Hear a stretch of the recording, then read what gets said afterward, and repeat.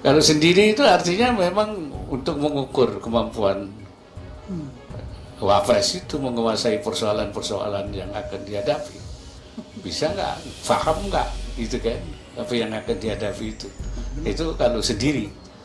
Kalau didampingi itu kan nanti bisa disupport. Iya. Bedanya itu aja. Tidak takut Pak Lurah, tamparan keras Ma'ruf Amin. Debat khusus Cawapres masih perlu dilaksanakan. Gibran kena sindir. KPU mati kutu. Mengapa harus ada debat? Debat itu kan cara yang beradab untuk melihat pikiran, visi, sikap, posisi, ya, the core dari orang yang mau kita pilih menjadi pemimpin tertinggi di Republik Indonesia yang kepadanya keselamatan bangsa ini kita titipkan. Keselamatan rakyat kita titipkan. Demikian juga wakilnya yang harusnya punya kesetaraan. Ya, punya kesetaraan sehingga ketika yang namanya pemimpin tertinggi itu kepala negara, kepala pemerintahan tidak bisa menjalankan tugasnya, maka wakilnya cukup kompeten, cukup capable untuk mengisi ruang itu. Halo selamat datang di channel Redaksi Jurnal bersama JJ. Wakil Presiden Ma'ruf Amin memberikan tanggapan soal debat Cawapres yang ditiadakan. Ia mengatakan debat sesi khusus antara Cawapres menjelang Pilpres 2024 masih perlu dilaksanakan.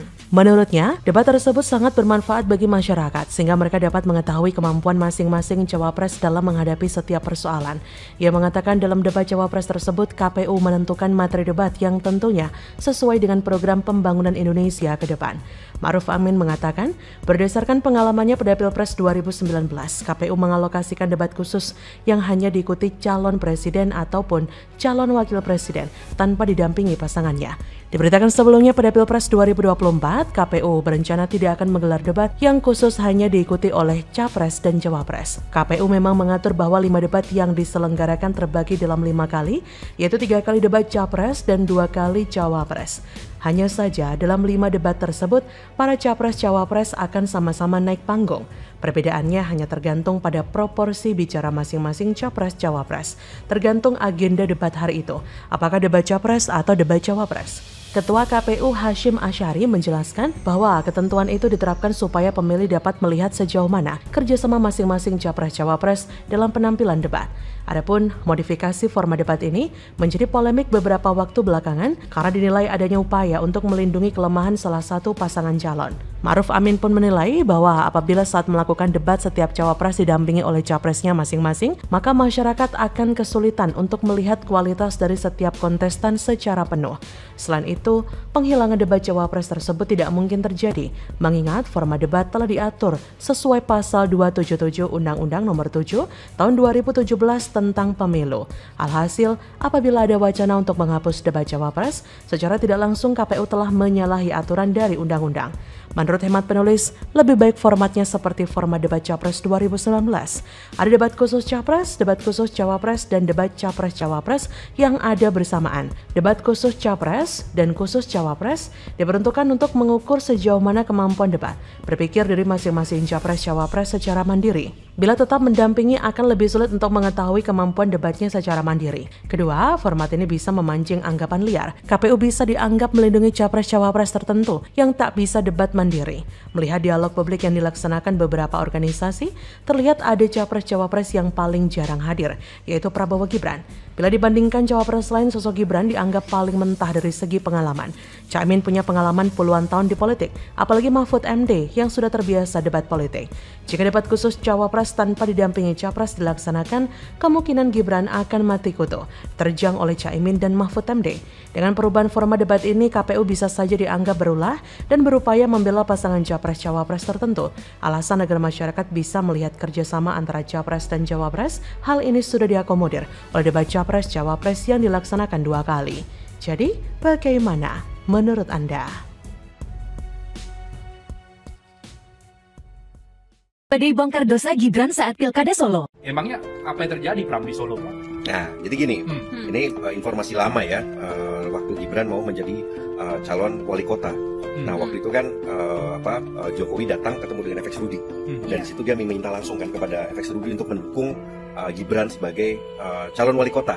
Uh, FX Rudi bilang bahwa kalau tidak ada perintah dari ketua umum dia tidak akan uh, mengubah keputusannya. Hmm. Nah tapi kemudian ya kita tahu lah ya ada manuver-manuver yang kemudian membuat pengurus pusat ini akhirnya mau mencalonkan Gibran gitu kan. Uh, dan akhirnya juga yang satu lagi bukan hanya memberikan tiket pada Gibran, Hmm. tapi memberikan lawan untuk Gibran. Oh, Oh, yang Zahid itu lawan ya, boneka ya? itu ya, ya. Iya. Jadi waktu itu ini ada ada beberapa orang PDIP nih uh, petinggi PDIP cerita bahwa Gibran ini uh, meminta uh, supaya uh, dia tidak melawan kota kosong. Pengen terlihat ada jerih payah lah, ada lawan lah. Hmm. maka dibikinlah eh, lawan ini. Dosa Gibran terbongkar. Megawati sejak awal sudah ragukan Gibran, ternyata pencalonan Gibran atas manuver Jokowi yang milih rakyat rakyat mana coba nih anaknya jenengan tidak mungkin dapat rekomendasi dari Megawati Soekarno Putri karena Bu Mega adalah punya prerogatif dan masih sayang kepada Pak Joko Widodo yang saat itu belum ketahuan bobroknya gitu loh. Sekarang udah ketahuan. Nah, rakyat yang tahu lah kan itu. Halo selamat datang di channel Redaksi Jurnal bersama JJ. Hubungan keluarga Presiden Joko Widodo dengan pihak PDIP semakin memanas setelah Ketua Umum PDIP Megawati Soekarno Putri menyindir Jokowi dalam masalah pemerintahan. Kini gantian Ketua DPC PDIP FX Hadi Rudiatmo ikutan menguliti rumah tangga Jokowi dengan sang istri Iriana Jokowi. Memanasnya hubungan dua pihak itu tak lepas dari manuver politik yang dilakukan keluarga Jokowi. Mulai dari Gibran yang mendadak membelot dari PDIP untuk jadi cawapres Prabowo. Kemudian Kaisang secara instan terpilih sebagai ketum PSI. Sontak, Presiden Jokowi dan keluarga dinilai sudah mengkhianati PDIP yang mendukung pasangan Ganjar Mahfud. Situasi ini memicu beragam perang mulut antara pendukung Jokowi dengan pendukung PDIP. Salah satunya datang dari FX Rudi yang mulai buka-bukaan soal permasalahan rumah tangga Jokowi. Bahkan, Rudi turut menyindir Gibran. Ia menyebut anak Jokowi itu bisa mencalonkan diri sebagai wali kota Solo berkat mendapat rekomendasi dari PDIP, khususnya Megawati. Menurut Rudi, Megawati sangat menyayangi Presiden Jokowi. Hal itu membuat Mega menyetujui pencalonan Gibran sebagai wali kota Solo. Bahkan Gibran bisa menjadi calon wali kota Solo di Pilkada 2020 berkat cawe-cawe bapaknya Presiden Jokowi. Bahkan perlakuan istimewa yang diberikan PDIP berkat Jokowi kepada Gibran juga meresahkan.